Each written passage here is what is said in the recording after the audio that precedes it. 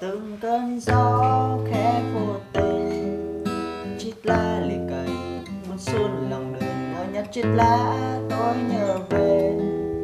Cô bé đáng yêu của tôi, mùa đông đến, em vẫn cười. Em ước mình là bóng tuyết mùa trời để được bay mãi lên thiên đường. Một thiên đường tuyết